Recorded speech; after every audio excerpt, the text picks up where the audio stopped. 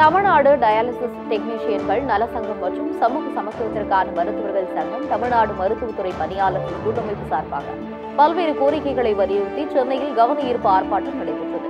Chennai Egmore Rajarathinam stadium அருகில் மருத்துவர்கள் dialysis டெக்னீஷியன்கள் மருத்துவத்துறையினர் தமிழக மருத்துவ பணியாளர் தேர்வாணையம் மூலம் நியமிக்கப்பட்ட டயாலிசிஸ் டெக்னீஷியன்களை முதல்வர் மருத்துவ காப்பீடு மூலம் ஹவுஸ் முறைக்கு மாற்றியதை கைவிட வேண்டும்.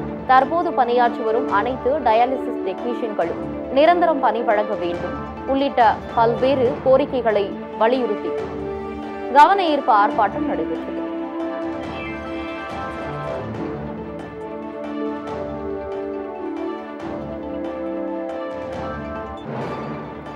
தூத்துக்குடி மாவட்டம் கோவல்பட்டி அருகே உள்ள இனாமணியாச்சி பேருந்து நிறுத்தம் அருகே தமிழ் விவசாயிகள் சங்கத்தினர் கவன ஈர்ப்பு ஆர்ப்பாட்டத்தில் அப்போது விவசாய விளைபொருட்களுக்கு விதிக்கப்பட்ட செஸ் வரியை ரத்து செய்ய வேண்டும்.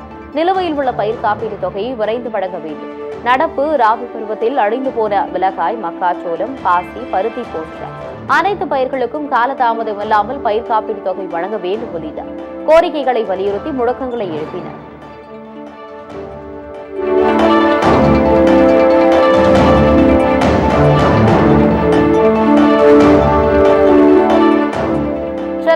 சென்னை அருகே தண்டலத்தில் உள்ள சவிதா மருத்துவக் கல்லூரியில் மருத்துவத்தில் புதிய கண்டுபிடிப்புக்கார கண்காட்சி நடைபெற்றது. முதலாம் ஆண்டு மற்றும் இரண்டாம் ஆண்டு படித்து வரும் ஐநூறு மருத்துவ மாணவர்கள் கலந்து கொண்டு புதிய கண்டுபிடிப்புகளை காட்சிப்படுத்தினர். மருத்துவக் கல்லூரி வேந்தர் வீரையர் தலைமையில் ஐந்து நாட்களாக நடைபெற்று வரும் இந்த கண்காட்சியில் புற்றுநோய் நுரையீரல் தொற்று உள்ளிட்ட பல்வேறு நோய்களை பக்க விரைவுகள் இல்லாமல் குணப்படுத்துவது குறித்து பல்வேறு மருந்துகளை கண்டுபிடிக்கும் தங்களின் ஆராய்ச்சிகள் மாணவர்கள் மூலம் காட்சிப்படுத்தியிருந்தனர். இந்த கண்காட்சியை இந்தியன் மெடிக்கல் அசோசியேஷன் தேசிய தலைவர் சுஜானந்த் பிரசாத் சிங் குத்துவிளக்கேற்று துவக்கி வைத்தார் அப்போது பேசிய அவர் இந்த பூமியில் மருத்துவத்துறையே மிகவும் புனிதமானது என்று மருத்துவத்துறையில் இருப்பவர்கள் வாழ்நாள் முழுவதும் அர்ப்பணிப்போடு கடுமையாக உழைக்க வேண்டிய கட்டாயம் இருப்பதாக அவர் கூறினார். மேலும் சிறந்த கண்டுபிடிப்புகளுக்கு சான்று மற்றும் பரிசுகள் வழங்கப்பட உள்ளது குறிப்பிடத்தக்கது.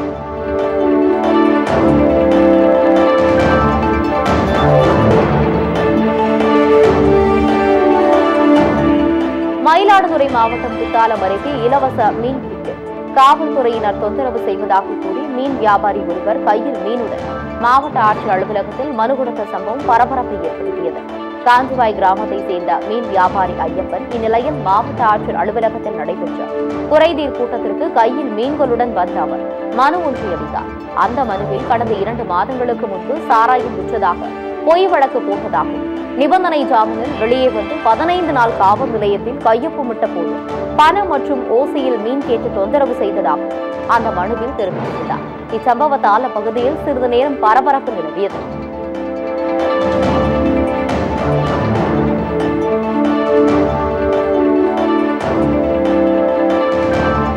தெருவை ஆக்கிரமித்து வீடு கட்டும் ஊராட்சி மன்ற தலைவர் மீது நடவடிக்கை எடுக்க கோரி பாதிக்கப்பட்ட மக்கள் மாவட்ட ஆட்சியரிடம் புகார் அளித்துள்ளனர். திருவண்ணாமலை மாவட்டம் கீழ்பெண்ணாத்தூர் அடுத்த ஆவூர் கிராமத்தில் உள்ள புதுப்பிள்ளையார் கோவில் தெருவில் வசித்து வரும் ஆவூர் ஊராட்சி மன்ற தலைவர் ஜப்பார் அப்பகுதியில் உள்ள தெருவை ஆக்கிரமித்து வீடு கட்டும் பணியில் ஈடுபட்டு வருவதாக கூறப்படுகிறது. அப்பகுதியில் வசிக்கும் மக்கள் உற்பத்தி செய்யும் கோரை பாய்களை லாரி மூலம் ஏற்றுமதி செய்வதற்கு செல்ல முடியாத சூழல் ஏற்பட்டுள்ளதாக அப்பகுதி மக்கள் வேதனை தெரிவிக்கின்றனர். தெருவை ஆக்கிரமித்து பில்லர் எழுப்பி வீடு கட்டி அராஜக செயலில் ஈடுபட்டு வரும். ஊராட்சி மன்ற தலைவர் ஜபார் மீது நடவடிக்கை எடுத்து தெருவை மீட்டு தர கோரி திருவண்ணாமலை மாவட்ட ஆட்சியர் முருகேஷிடம் புகார் மனுவை அளித்துள்ளனர்.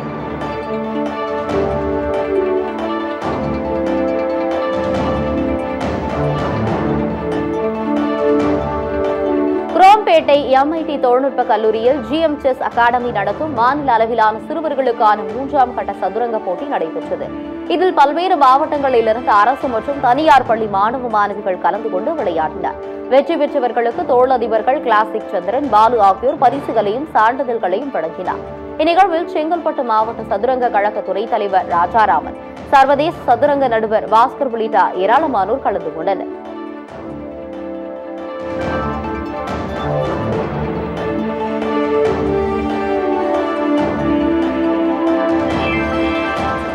மாவட்டம் குடியாத்தம் அமைச்சூர் கபடி கழகத்தின் சார்பில் வட்டார அளவிலான கபடி போட்டி சிறுவங்கி கிராமத்தில் நடைபெற்றது.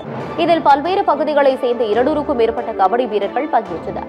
முன்னதாக கபடி கழகத்தின் துணைத் தலைவர் தலித்குமார் லயன் சங்க மாவட்ட தலைவர் பொன்னம்பலம் ஆகியோர் போட்டியினை தொடங்கி வைத்தனர். இதில் வெற்றி பெறும் அணியினர் மாவட்ட அளவில் நடைபெறும் போட்டியில் பங்கேற்க உள்ளனர்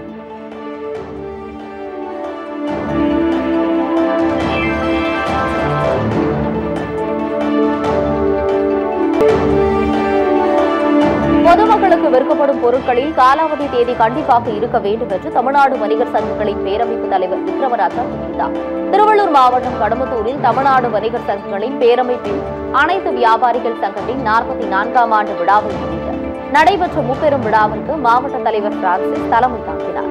விழாவில் சிறப்பு அழைப்பாளராக தமிழ்நாடு வணிக சங்கங்களின் பேரமைப்பு தலைவர் விக்ரமராஜா கலந்து கொண்டு சிறப்புரையாற்றினார்.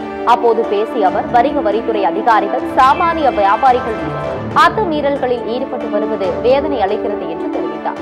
இதனைத் தொடர்ந்து கடம்புத்தூர் ஊராட்சியில் உள்ள தூய்மை காவலர்களுக்கு நலத்திட்ட உதவிகளை வழங்கினார். இதில் மாநில பொதுச் செயலாளர் கோவிந்தராஜு மாநில பொருளாளர் சதகதுல்லா மண்டல தலைவர் அமல்ராஜ் உட்பட நிர்வாகிகள் பலர் கலந்து கொண்டனர்.